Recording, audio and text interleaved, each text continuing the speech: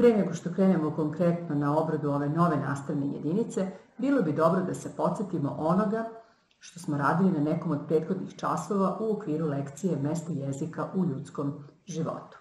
Pa hajde da ponovimo nekoliko važnih stvari. Šta je jezik? Čime se bavi lingvistika? A čime filologija? Na koje tri plana postojanja jezik obeležava čoveka? Dopuni. Jezik je neodvojiv od mišljenja. Pomoću jezika čovek razvija i oblikuje svoje mišljenje. Izražava svoje osjećanje. Tumači svet oko sebe. Seća se, zamišlja, shvata sebe samog. Jezik je, dakle, kakva pojava. Ostavit ću vam jedno vreme da uradite ove zadatke, a onda ćemo zajedno provjeriti rešenje. Možete usmeno da odgovarate na ova pitanja, a možete da zapišete odgovore u svoju svesku. Kako vam je zgodnije?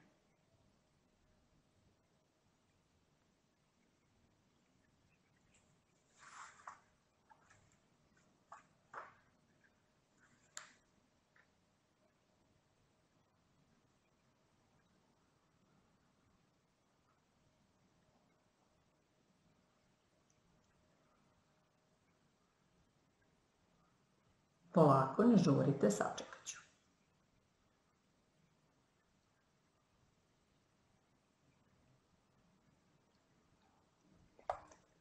Pa, hajde da proverimo. Jezik je osnovno sredstvo sporazumevanja, odnosno komunikacije među ljudima. Lingvistika, nauka koja se bavi jezikom uopšte. Filologija, nauka koja proučava književnost nekog naroda u kontekstu njegove istorije i kulture. Lingvistika zapravo proizlazi iz filologije.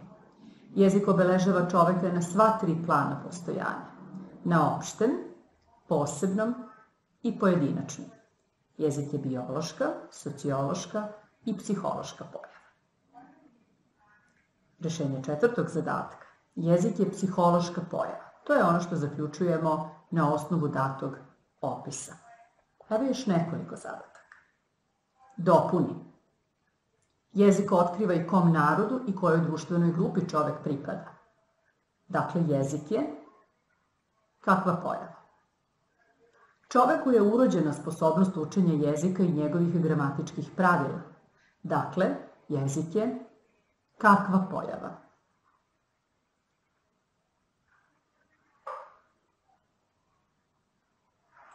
Razmislite, malo pre sam i pomenula. Da proverimo. Da, jezik je društvena pojava. Jezik i društvo su vezani jedno za drugo i jedno bez drugog ne mogu. I da, jezik je biološka pojava, jer je čovek urođen na sposobnost učenja jezika i njegovih gramatičkih pravila. Danas ćemo govoriti uopšte o jeziku, o nekim e, veoma važnim svojstvima jezika i o funkcijama jezika. Jezik je sistem znakova koji čoveku omogućuju razvijen društveni i duševni život i koji se ostvaruje u komunikaciji među ljudima, odnosno u opštenju među ljudima.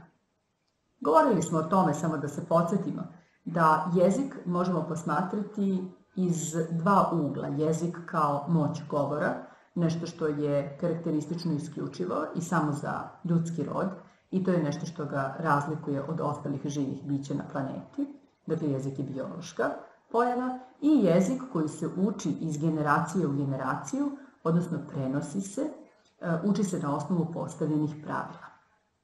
Svi ljudi imaju jezik, ali nemaju svi isti jezik. Navešćemo nekoliko važnih osobina jezika.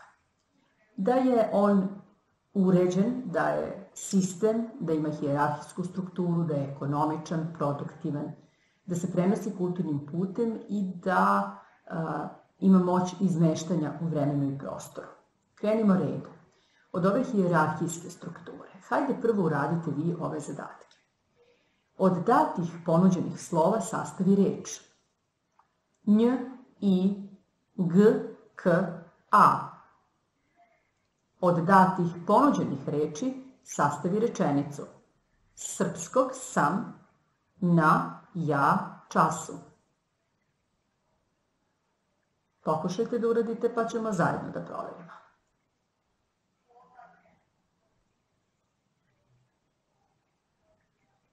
Nadam se da ste tačno uradili ove zadatke. Dakle, da, od ponuđenih slova može da se sastavi reč knjiga, a od ponuđenih reči rečenice ja sam na času srpskog, na času srpskog sam ja. Pre nego što konkretno objasnimo šta znači da jezik ima hijerarhijsku strukturu, moramo da znamo šta znače ovi termini. Šta je hijerarhija? Sigurno sam da ste čuli za tu reč. To je poredak u kome su pojave poređene od najniže do najviše. Pa tako možemo da govorimo o crkvenoj hijerarhiji, društvenoj hijerarhiji, činovničkoj hijerarhiji. U svakom društvu mora da se zna neki red i mora da postoji neka hijerarhija. A struktura, struktura znači način građenja, sastav, sklop, raspored, može da znači građevina, zgrada, tvorevina. Dakle, i jezik u stvari tako funkcioniše kao e, jedna građevina koja se gradi od temelja, od najmanjih, najnižih delova, da bismo dobili najviše delove. Jezik je sistem, organizovana celina čiji delovi obrazuju jednu strukturu. Glasovi se kombinuju i stvaraju morfeme i reči, a reči se kombinuju i stvaraju sintagme i rečenice. Dakle, vidite da od onih najmanjih jezičkih jedinica dobijamo one najviše. Jezičke jedinice nižeg reda međusobno se mogu povezati i obrazovati jezičke jedinice višeg reda. Ali šta mislite? Da li na sve moguće načine, odnosno da li su dozvoljene sve moguće kombinacije e, među jedinicama nižeg reda da bi se dobile neke jedinice višeg reda? Ili postoje neka pravila? Naravno da postoje pravila. Pravila koja na svakom nivou strukture dozvoljavaju. Koja to kombinacija može da se izvede, a koja ne može. I upravo ta pravila čine gramatiku jednog jezika. Tako da na malopređašnje pitanje sigurno nismo mogli dati odgovor da je pravilna rečenica sam na ja srpskog časa. Narušena su pravila reda reči u rečenici. Ja sam na času srpskog, odnosno na času srpskog sam ja. Šta je ekonomičnost? Uradimo prvo zadatak koristeći glasove L, E, M, K, O, sastavi što više reči. Ne mora reč od svih pet ponuđenih slova, može od tri, od četiri, od dva. Razmislite i potrudite se.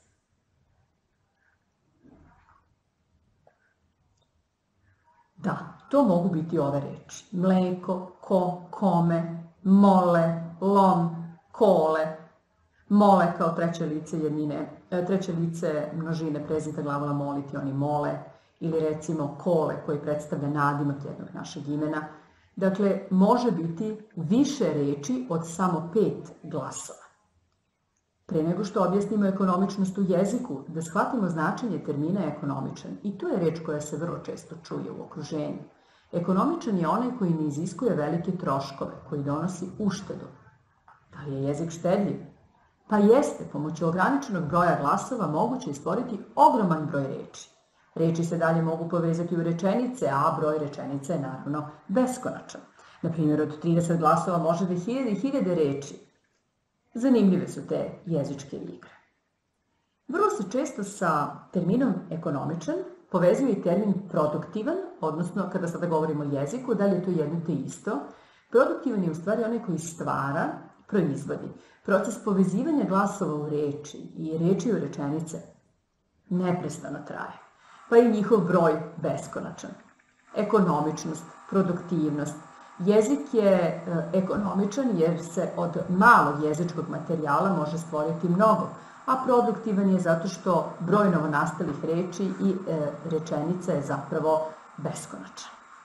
Proces njihovog stvaranja e, neprestano traje.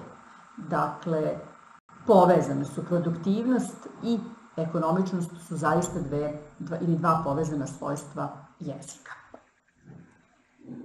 Pomenula sam dislokaciju ili izmeštanje. Dislokacija je razmeštanje, raspoređivanje, izmeštanje. Kako to jezik ima osobinu izmeštanja? Pa evo jedna kratka vežbica, odnosno uvod. U kratkim crtama opiši svoj prvi dan u srednjoj školi.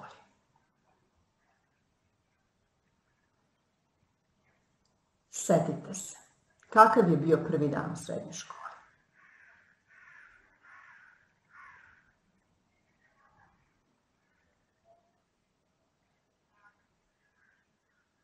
Dobro.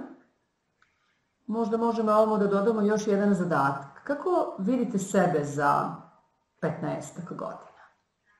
Možete li da kažete nekoliko rečenica o tome gde vidite sebe za 15 godina? Šta ćete raditi, čime ćete se baviti? Gde ćete živjeti? Kako ćete živjeti?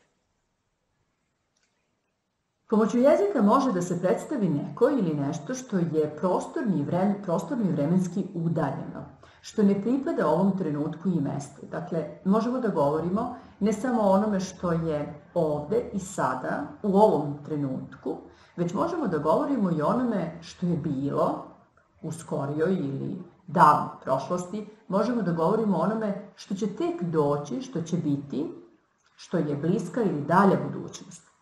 Upravo možemo jezikom e, pričati bilo šta, dakle izmišljati, lagati, predviđati, sećati se. E to je ta osobina dislokacije ili izmeštanja. Dakle, moć jezika da se njime govori i van vremena i prostora u kojem smo sada. Jezik se naravno prenosi kulturnim putem. Da li ste čuli za ove reči? Da li ste čuli za sve reči koje su vam poznatije, koje ne? Postoji li neka reč među ovim ponuđenima za koju niste čuli nikada? Ajde pokušajte da odredite značenje ovih reči. Cesar, pismenica, desktop, e-mail.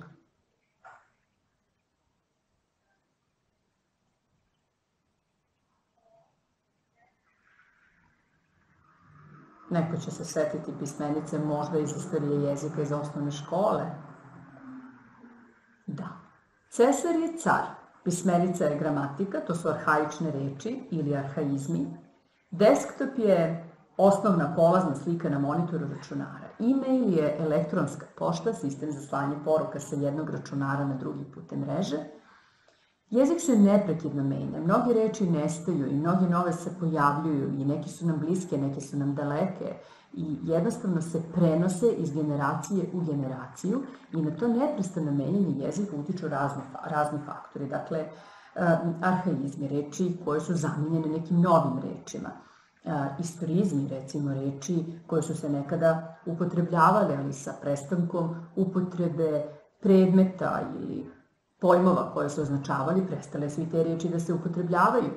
S druge strane, dolaze nam u život neke nove reči, već smo govorili o tome da se jezik menja sa promenama ili napretkom tehnike i tehnologije i naravno da će reči kao što su malo pre ponuđene e-mail, odnosno desktop, biti sastavni deo naše svakodnevne leksike, odnosno deo našeg rečnika. Šta znači da se jezik usvaja kulturnim putem? Pa to znači da se usvaja učenjem, da promene u kulturi utiču i na sam jezik i ni jedna generacija ne usvoji jezik koji je potpuno isti, identičan kao onaj kojim je govorila neka prethodna generacija. Verujem da se u svom bliskom okruženju možete uveriti u ove tvrdnje. Ovo su, bile osnov, ovo su bila osnovna svojstva jezika. Dakle, hjerarhijska struktura ili hjerarhijski uređen sistem, produktivnost, ekonomičnost, prenošenje kulturnim putem i dislokacija.